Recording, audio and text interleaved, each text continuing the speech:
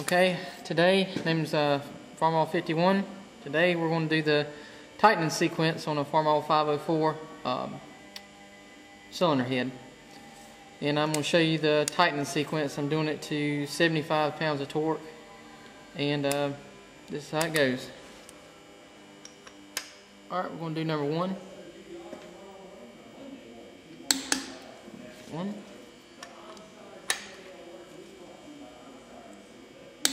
Two.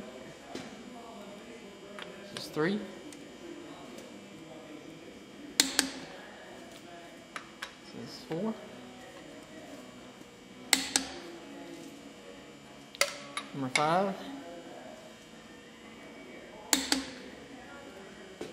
Number six.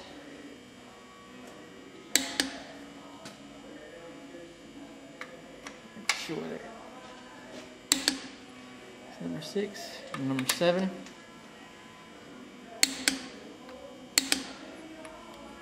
I'll do number eight.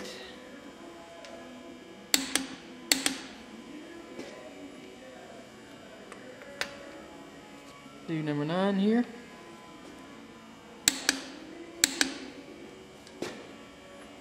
Number 10.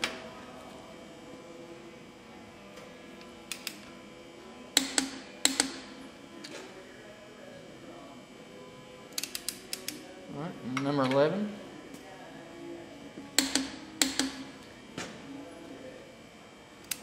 Number 12.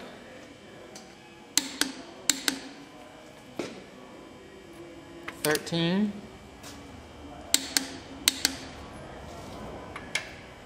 And number 14. And that is the tightening sequence on a C-153 engine, commonly found in 504s and 2504s. All right, thank you.